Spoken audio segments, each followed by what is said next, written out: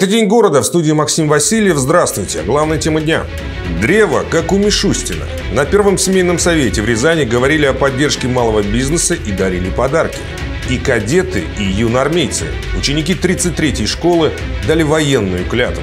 Чтобы не было стыдно родителям, первый вице-премьер правительства Рязанской области Анна Рослякова публично отчиталась перед общественностью. При поддержке торгово-промышленной палаты в Рязани стартовал первый Всероссийский семейный совет. Приехали 82 ячейки общества практически со всей страны. И каждая со своими идеями о ведении семейного бизнеса. Николай Любимов, тех, кто развивает это направление в Рязанской области, назвал поименно. Пермь, Оренбург, Владимир и даже Якутск. По географии первого семейного совета сегодня можно легко составить карту предпринимательской активности страны. Выбор Рязани, хозяйка форума, в этом смысле никого удивлять не должен. Ни Москва, ни Санкт-Петербург, а именно Рязань сегодня флагман поддержки предпринимательства в России. Здесь знают, как и чем помогать бизнесменам. И это для президента торгово-промышленной палаты Сергея Катырина стало главным доводом. В офлайн обращении он назвал семейный совет своим детищем будущем. Семейный бизнес присутствует во всех сферах российской экономики, вносит свой достойный и, мы полагаем, весомый вклад в развитие нашей страны.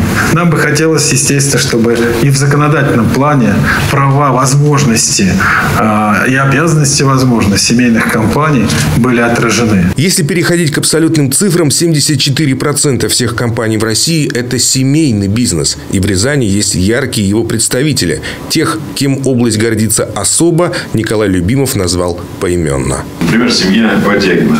Они еще в 92 году свое дело э, начали с маленькой такой пекарни на окраине города Рязани. И сейчас уже серьезный процветающий бизнес ведут.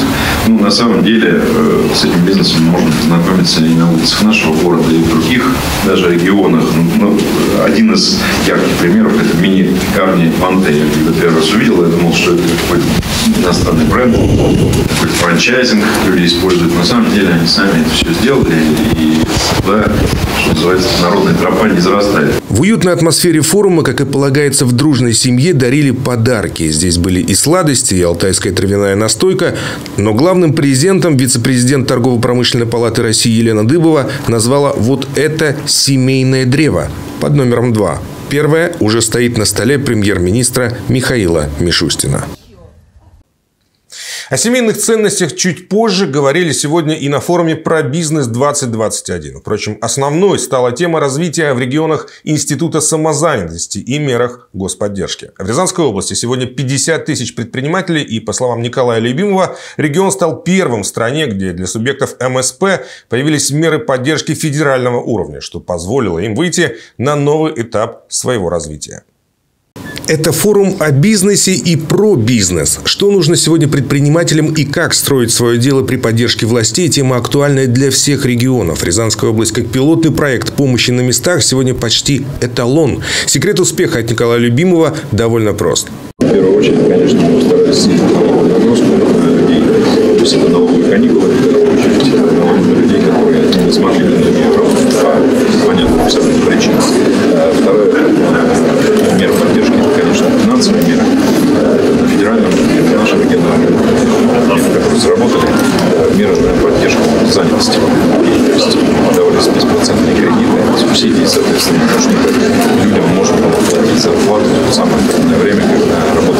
Самозанятость – первый шаг к предпринимательству. И пусть среди них 58% таксистов, правила должны быть одинаковы для всех, считая в торгово-промышленной палате страны. Если кассовый аппарат нужен одним, значит, должен быть нужен и другим. А вообще, конечно, без поддержки властей самозанятость – это почти авантюра. Я. Я знаю, что в нашей стране очень вести бизнес. Это, знаете, горе человека.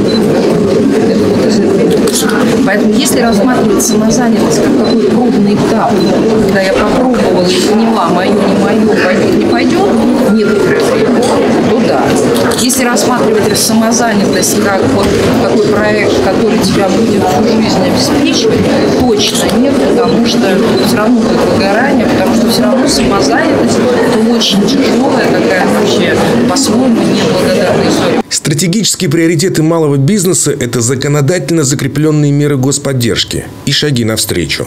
Такие, например, как сделала Федеральная налоговая инспекция. Теперь о блокировке счетов фискальная служба будет предупреждать заранее, как минимум за две недели. Офицеры Голицынского пограничного института посвящали сегодня в кадеты учеников 33-й Рязанской школы. Многие из их подшефных выбирают впоследствии военную карьеру, но есть же еще юноармейцы. Кто и что выбрал в итоге, знает Валерий Седов. Ученики кадетского класса школы номер 33 выполняют команды офицера четко и быстро. До солдатов им еще далеко, но они небольшими шагами приближаются к этой цели. Сегодня эти ребята стали кадетами. Юноши и девушки торжественно принесли клятву, как водится, на плацу под кадетским знаменем. Быть честным и верным товарищем, быть образцом в учебе и поведении. Клянусь! Клянусь! Школе номер 33 кадетские классы открылись 8 лет назад. Шефство над ними взял Голицынский пограничный институт под Москвой, поэтому сотрудники ФСБ стали почетными гостями мероприятия и сказали ребятам напутственные слова. Будьте мужественными, стремитесь к высотам, ну а мы со своей стороны обязательно вас поддержим. Удачи вам! Берегите себя, ребята! Вторым важным событием стало посвящение ребят в юнармейцы. Также на плацу они произнесли торжественную клятву. Вы теперь не только носите звание юнормейца и значок юнормейца, вы теперь еще и носите обязанности. Обязанности быть примером для своих товарищей, друзей, одноклассников. Быть для них помощью, быть гордостью для родителей. Во всем всегда быть впереди. Школа номер 33 уже несколько лет занимается патриотическим воспитанием детей. Выпускники кадетского класса становились курсантами Голицынского пограничного института, продолжали нести службу в правоохранительных органах. И хоть пока неизвестно, кто из этих ребят продолжит свой путь по военному направлению, но одно ясно точно – они сохранят привитые им ценности. Валерий Седов, Михаил Лазуткин, телекомпания «Город». В Рязани появился свой детский автогородок. На площадке смоделированы дорожная инфраструктура, правда в уменьшенном масштабе, электромобили и мини-авто. Дорожные знаки, светофоры и разметка. Детский автогородок напоминает настоящую часть улицы, правда уменьшенную. Водители здесь дети. На маленьких машинах они могут проехаться по этому участку и отточить свои навыки ПДД. Автогородок открылся в Центральном парке культуры и отдыха. Николай Викторович э, Любимов, губернатор Рязанской области, является председателем комиссии по безопасности дорожного движения. На одном из совещаний сказал, надо уделять э, большое внимание и должное воспитанию нашего подрастающего поколения, по ведению на дорогах культуры э, безопасности дорожного движения. И нами было незамедлительно принято решение о строительстве этого детского городка. Евгений Беленецкий добавил, что городок построили быстро. Сделано это на внебюджетные средства. Это самый масштабный и высокотехнологичный автогородок в области. Основной целью его работы станет профилактика дорожно-транспортных происшествий. Уверен, что каждый из вас э, изучит правила дорожного движения и закрепит здесь. И вот эти знания, которые получены на этом автогородке, позволят применять их уже в реальных условиях дорожной обстановки. Обеспечить системное обучение детей безопасному поведению на дорогах. И хоть сам городок доступен для каждого, прокатиться по этим копиям несуществующих улиц получится не сразу. Занятия здесь проводятся по записи. Для этого нужно будет скачать мобильное приложение gsut.rf. Валерий Седов, Михаил Лазуткин, телекомпания компания «Город». 6 миллионов рублей на НКО и 8 строчек вверх в рейтинге поддержки некоммерческих организаций. В точке кипения перед жителями региона отчиталась Анна Рослякова, первый заместитель председателя правительства Рязанской области. Практика проведения таких открытых диалогов с гражданами появилась еще в 2019 году по поручению губернатора Николая Любимова. Олеся Котровская продолжит. В рамках публичного отчета первый заместитель председателя правительства региона Анна Рослякова и руководители шести министерств и ведомств рассказали об основных результатах своей работы, а также ответили на вопросы аудитории в зале и пользователей соцсетей. А, звучал вопрос о том, что нельзя попасть, вот, к сожалению, заявительница ушла, что нельзя попасть э, на личный прием в период пандемии обращаюсь ко всем. Не можете куда-то попасть, приходите ко мне. Ко мне вы попадете всегда. Даже в период пандемии не даст соврать мне отдел по работе с обращениями граждан. Есть нам к чему стремиться, есть над чем работать. Поэтому мы на лаврах не, по, отчуваем, у нас их нет. У нас впереди очень много работы для того, чтобы жители и каждый человек в Рязанской области и приезжающий сюда был в безопасности, окружен заботой, вниманием и получил шанс быть услышанным. В свою очередь, руководитель Министерства по делам территории и информационной политики области Жанна Фомина отметила, что по итогам прошлого года Рязанский регион поднялся с 24 на 16 место в рейтинге субъектов Российской Федерации по реализации механизмов поддержки социально ориентированных некоммерческих организаций. 73 СОНКа была оказана финансовая поддержка на сумму более 6 миллионов рублей. Из них них 2 миллиона – средства, которые предоставили по итогам конкурсного отбора Федерального агентства по делам национальностей.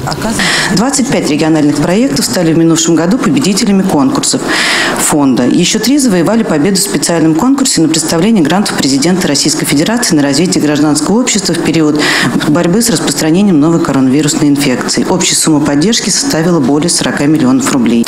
В рамках подпрограммы поддержки местных инициатив 142 муниципальных образований Рязанской области получили в минувшем году субсидии из областного бюджета на общую сумму свыше 168 миллионов рублей, что позволило реализовать 202 проекта местных инициатив. Это новые парки, скверы, детские спортивные игровые площадки, восстановленные памятники, отремонтированные дороги и многое-многое другое. По словам Жанны Фоминой, в год 75-летия Великой Победы регион участвовал в федеральной целевой программе увековечивания памяти погибших при защите Отечества на 2019-2024 годы. На предоставленную субсидию в размере более 5 миллионов рублей было отремонтировано 9 воинских захоронений и установлено два мемориальных знака. Кроме того, издан 10 том областной книги «Солдаты Победы». Олеся Котровская, телекомпания «Город». Книги уже будет. На этом у нас все. Еще больше новостей на нашем сайте www.город62.tv и на наших страничках в соцсетях. Всего доброго.